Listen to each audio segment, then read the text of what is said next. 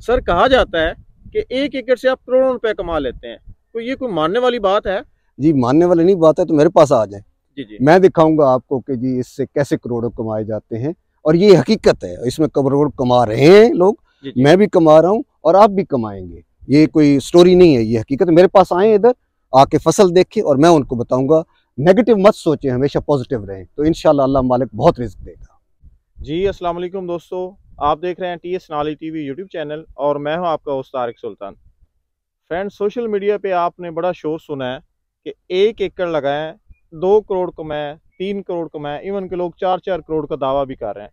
तो आज हमारे साथ मौजूद हैं ex army officer major Naseem Hasan साहब, जो कि चार पाँच साल से जी वन गार्लिक ग्रो कर रहे हैं और इसके बड़े प्रोग्रेसिव ग्रोअर हैं।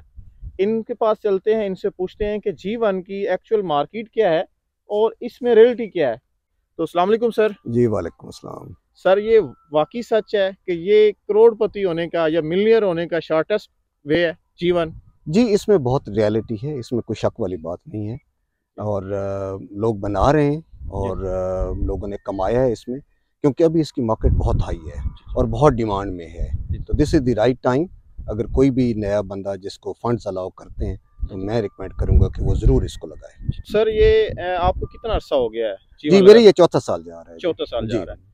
तो आपने शुरू जो स्टार्ट लिया था वो कितने एकड़ से लिया था? जी मैंने एकड़ से नहीं लिया था मैंने दो कनाल से लिया था अच्छा दो कनाल से हाँ लिया दो कनाल से मैंने फिर वो अपना सीड बनाया था फिर उसके बाद मैं आगे चलता गया हूँ क्योंकि एक कनाल के सीड से आप एक एकड़ लगा सकते हैं। एक एकड़ लगा हाँ सकते तो तो वहाँ अभी से सर जी तो अभी सर आपके पास अभी कितने कितने एकड़ पे जी मेरे पास टोटल जो है वो यहाँ पे तकरीबन साढ़े चार एकड़ है और उसके बाद उकाड़ा वाली साइड पे सोलह एकड़ है। सोलह एकड़ है। यानी कि आपने दो कनाल से स्टार्ट लिया है। जी। और अभी बीस एकड़ पे पहुँच गए जी बिल्कुल। तो सर ज़्यादा से ज़्यादा आपने कितनी पैदावार ली है जीवन की? देखिए मैं तो 400 को भी टच कर चुका हूँ। जी जी। लेकिन मैं कोई ख्वाब नहीं दिखाऊँगा लोगों को वो जब अपनी कैलकुलेशन करते हैं जी जी। तो वो 300 मन पर एकड़ पे कैलकुलेशन करें। जी जी। ठीक है ना? क्योंकि बहुत ज़्यादा प्लस अगर आ जाता है तो वो बोनस है। जी जी। तो लेकिन अपनी 300 मंथ पे उसकी वजह ये है कि आप देख लेने एक मैं नॉर्मल एग्जांपल दे देता हूँ गंदम की। तो जो। आप तो अगर ज़्यादा अच्छा ख्याल रखते हैं तो लोगों ने साठ साठ मन पर एकड़ भी ली है। जी जी। लेकिन जो नहीं ख्याल रखते उनकी अट्ठाईस अट्ठाईस मन पर एकड़ भी आती है। हालाँकि गंदम ही है हर बंदा वही तो इसमें भी यही है जी जी। कि आप इसका ख्याल रखें आप इसकी जो रिक्वायरमेंट्स हैं कोई रॉकेट साइंस नहीं है इजी है। जी जी। तो वो अगर ख्याल रखें टाइम पे पानी लगाएँ टाइम पे खादे दें टाइम पे स्प्रे करें तो इंशाल्लाह you would be benefited lot ना। काफ़ी आपको इसमें फ़ायदा होगा। जी। तो सर अगर प्रॉफिट की बात करें तो आपने एक एकड़ से जैसे कि आपने बताया कि 400 मन भी लिया है 300 मन तक ऑन एन एवरेज इसकी है तो आपने एक एकड़ ज़्यादा से ज़्यादा कितने में बेचा है?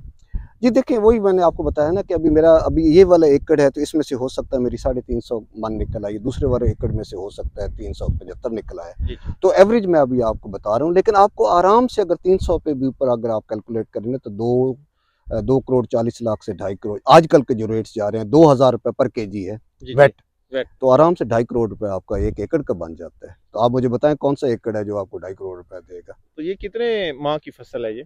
ये तकरीबन सात माह लग जाते हैं। जी अक्टूबर में इसको आप काश्त करते हैं जी जी। और मई के शुरू में या मई के मिड में आप इसकी हार्वेस्टिंग करते तो सर ये बात तो फिर हकीकत है कि सात माह में एक एकड़ से दो से ढाई करोड़ कमाया जा सकता है। कर सकते हैं जी ये रियलिटी है। ये ये इसमें सिर्फ़ मैं नहीं हूँ आप किसी भी ग्रोअर के पास चले जाए। अभी तो माशाल्लाह बहुत सारे अच्छे लोग जी जी। आ गए हैं इसमें। अनफॉर्चुनेट ये हुआ है कि इसमें इन्वेस्टर ज़्यादा आ गए वो पैसे लगा रहे हैं इवन प्रॉपर्टी वाले इसमें आ गए हैं वो पैसे इधर लगा रहे हैं।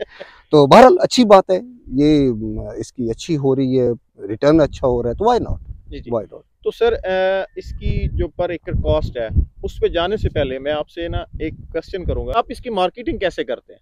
नहीं मार्केटिंग का इतना कोई मुश्किल को नहीं यहाँ पे बहुत सारे ग्रुप्स बने हुए हैं ना। जी जी। जिनके अंदर आप अपना पोस्ट करते रहते हैं। कई लोगों ने फेसबुक के ऊपर इसको बहुत एडवर्टाइज कर रहे हैं वहाँ से अपने बेच रहे हैं। जी जी। कई लोग जो है ना अपने चैनल यूट्यूब वगैरह पे जो है ना इन करके उस लिहाज से कर रहे हैं। तो मार्केटिंग मुझे अभी तक नहीं कोई ऐसा पता चला कोई ऐसा बंदा मुझे नहीं मिला जिसने कहा जी मेरा सेल नहीं हुआ मेरा बिका नहीं है जी। तो लास्ट टाइम आपका कितना था? 2022 में? जी मैंने आपको बताया ना कि साढ़े तीन एकड़ मेरा लास्ट ईयर था। लास्ट ईयर जी, तो साढ़े तीन एकड़ में आपके पास कोई सीड अभी पड़ा? है अभी नहीं है। सारा क्योंकि सारा लगा दिया। जी सेल भी हो गया था और फिर मैंने खुद भी लगा दिया बल्कि आप उससे कि मेरा तो कई बहुत सारे दोस्त नाराज़ भी हो गए। सर मतलब ये कि सेल करना या मार्केटिंग इसकी मुश्किल नहीं है? नहीं इसकी कोई मुश्किल नहीं है जी। ये बहुत हॉट हॉट आइटम है।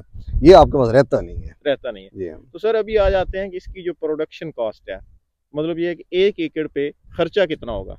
जी प्रोडक्शन कॉस्ट से पहले मैं थोड़ा सा बता दूँ कि इसमें जो मैं रिकमेंड करूँगा वो आप वेट जिसको हम गीला कहते हैं फ्रेश वो लें। जी जी। उसके दो फ़ायदे हैं। एक तो ये है कि जी आप जाते हैं फ़ील्ड के ऊपर आपको पता है कि ये कौन सी किस्म है अपने साथ को बंदा ले जाएँ जो थोड़ा बहुत जानता है वो आपको बता देगा कि ये जेनुअन है। और दूसरा ये है कि जो फ़ील्ड की विज़िट करवाता है वो जेनुअन ही होते हैं वो दूसरे वाले नहीं होते वो तो फ़ील्ड की जी जी वो तो ज़ाहिर सी बात है। जी।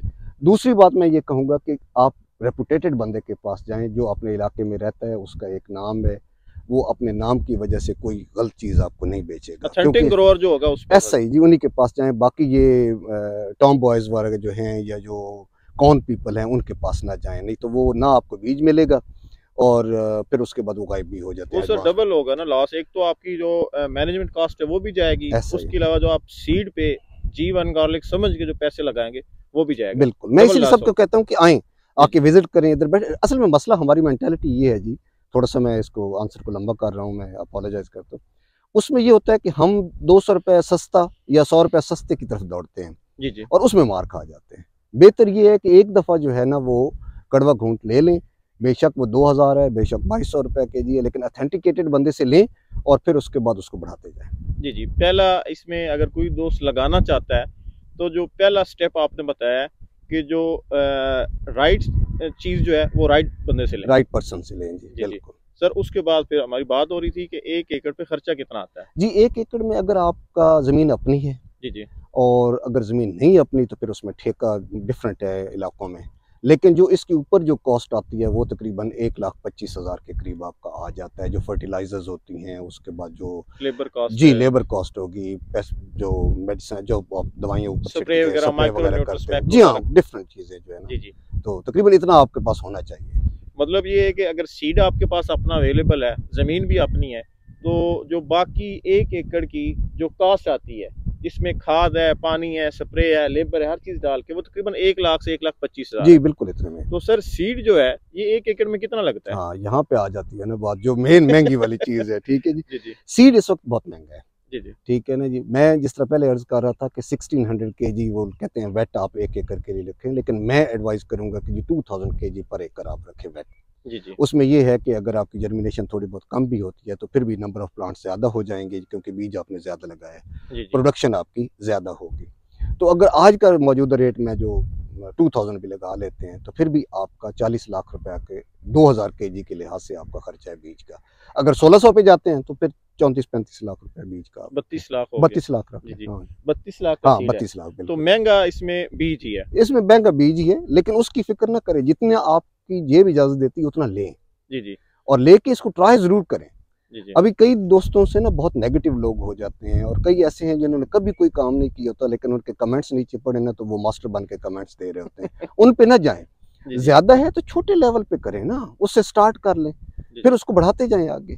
तो इनशाला इसमें अल्लाह अच्छा रिस्क देगा। नहीं सर आपके पास आने का हमारा मकसद ये था कि जो वीडियोस वगैरह हम देखते हैं मुख्तलिफ़ जो ग्रोअर्स हैं वो भी मेहनत कर रहे हैं। क्योंकि आप एक रेपुटेटेड इदारे से बिलोंग करते हैं। तो आपकी बात को लोग जो है वो एक रियलिटी और एक जेनवन समझते हैं क्योंकि इस वजह से हमने आपको चूज़ किया कि इसकी जो हकीकत है वो लोगों को बताएँ कि ये हकीकत में है क्या चीज़। जी वेरी काइंड जी। नहीं मुझ पे डबल रिस्पॉन्सिबिलिटी आ जाती है जी इस लिहाज से। जी जी। जो कुछ भी आप देख रहे हैं बस सिर्फ़ ये कोशिश करें इसमें प्रॉफिट है जी। इसमें तो दूसरी कोई राय है नहीं।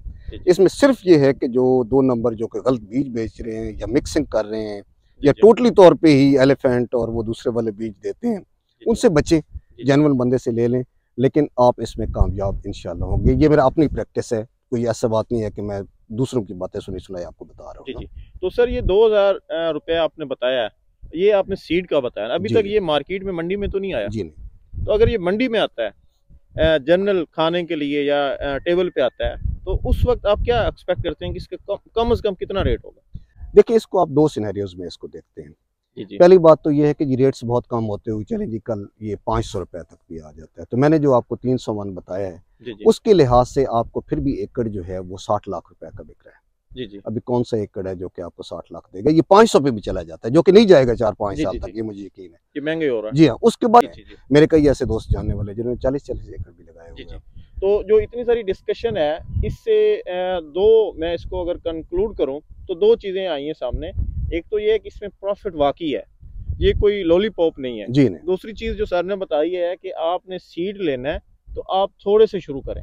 तीसरी जो चीज़ है जो मोस्ट इंपॉर्टेंट है वो ये है कि आपने जो सीड खरीदना है वो आप अथेंटिक बंदे से लें जिसके पास जी वन गार्लिक हो और आपने देखा हुआ हो। मार्केट में मुख्तलिफ़ जो जैसे एलिफेंट वैरायटी आ रही है उसकी और इसकी साइज़ की सिमिलैरिटी काफ़ी ज़्यादा है। पैदावार में ये यही ज़्यादा है इसमें कोई शक नहीं है। तो लोग जो है वो मिक्स करके बेच बेचना शुरू हो गए हैं जिस वजह से जो ग्रोअर है उसको नुकसान होगा। तो जो मोस्ट इंपॉर्टेंट थिंग है, वो ये है कि आपने सीड जो है, वो जैनवर बंदे से लेना है। तो सर इसमें कोई बीमारियाँ वगैरह या उनका रिस्क फैक्टर जो है, वो कितना है? जी, इसमें रिस्क फैक्टर जो है ना, वो तो अल्लाह की तरफ़ से, अगर कोई खुदा न खास्ता, जिस तरह पिछली दफ़ सैलाब भी आ गए हैं हमारे उस एरिया में तो वो अदरवाइज़ इसमें रिस्क फैक्टर जो है ना अगर थोड़ा सा भी अगर आप जाग के रहें ना तो इसमें रिस्क फैक्टर ऑलमोस्ट ज़ीरो हो जाता है। और बाकी क्रॉप्स की निस्बत क्योंकि ये इतनी हाइट वाली तो है हाइट वाली भी नहीं है और दूसरी हमारे। जिम्मेदार लोग जानते हैं कि ये नॉर्मल गार्लिक है यार हम पहले भी लगाते रहते हैं पता है कि इसका क्या करना है क्या नहीं करना है। जी जी। तो बस टाइम पे ये है कि ये नहीं है कि इसको लगाने के बाद आप जाके सो जाएँ और दो महीनों के बाद आके देखें कि मेरा गार्लिक कहाँ तक सर मेहनत तो है ना मेहनत करनी होगी मेहनत हर चीज़ में करनी होगी अगर थोड़ा सा भी इस पे ध्यान ये बड़ी ढीठ फ़सल है ऐसी कुछ नहीं है। जी जी। तो लेकिन ये मतलब ये कि दूसरा जैसे दूसरा लेसन है उसी तरह। आपने बाकी भी बता रहे थे कि पाँच से छह वैरायटियाँ लगाई हुई हैं जी मैंने ट्राई की जी सात सौ छप्पन लगाया था गुवाहाटी लगाया था देसी लगाया हुआ था। लेकिन इसके मुकाबले में कुछ भी नहीं वो सारा मैंने वो सारा खत्म कर दिया हाँ। हरनाई न लगाए। हरनाई मैंने लगाया था मेरा इतना अच्छा एक्सपीरियंस नहीं है। तो वो थोड़ा सा उससे अवॉइड करें।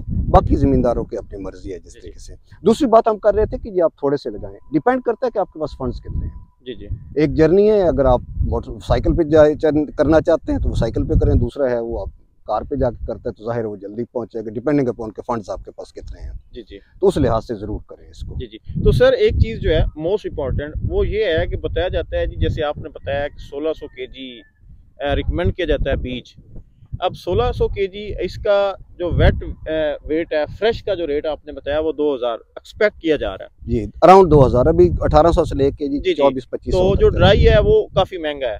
और ड्राई होने में इसका तकरीबन आधा जो वज़न है वो तो उड़ जाता है ना 50 परसेंट इसका हो जाता है मॉइस्चर लेकिन जो बीज है उसको ज़रा क्लैरिफाई करेंगे जिस बंदे ने 16 मन ले लिया है वेट का वही 16 मन आगे जाएगा या 16 मन ड्राई लेना है बीज के लिए? नहीं देखिए ड्राई मैं इतना रिकमेंड नहीं करता। जी जी। द रीज़न है मैं रोकता नहीं हूँ लेकिन मैं खुद रिकमेंड नहीं करता। उसकी वजह यह है कि जिस वक्त आप ड्राई लेना शुरू करते हैं ना आपको पता ही नहीं चलता कि ये जेनुअन है या इसके अंदर मिक्सिंग हुई हुई है और ये। नकली है। बहुत लोगों के साथ ड्राई पे हाथ हुए हैं। जी जी। तो आई वुड रिकमेंड कि आप वेट फ्रेश लें। वेट फ्रेश फ्रेश उसमें आपको 90 परसेंट तसली होगी कि मैंने जो चीज़ ली है वो बिल्कुल सही क्योंकि पौधा आपके सामने होता है वो जेनुअन होता है। जी जी। जहाँ तक ड्राई होने का तल्लक है जी ये 60 60 50 परसेंट कहते हैं लेकिन 60 परसेंट तक ये ड्राई हो जाता है। डिपेंडिंग अपॉन के उसको उसके अंदर वाटर मॉइस्चर कितना था। जी जी। लेकिन उसमें वरी करने की ज़रूरत नहीं है। नंबर ऑफ़ प्लांट्स वही रहना। नंबर ऑफ़ बल्ब वही रहने हैं। ठीक है ना बेशक खुश हो भी जाए तो 200 अगर बल्ब हैं तो उन्होंने 200 ही रहना है। उन्होंने कोई ये नहीं है कि जी 100 रह जाएँगे ऐसे नहीं होता है। तो बीज आपकी या तुरियाँ जो है ना आपकी उतनी ही रहती हैं।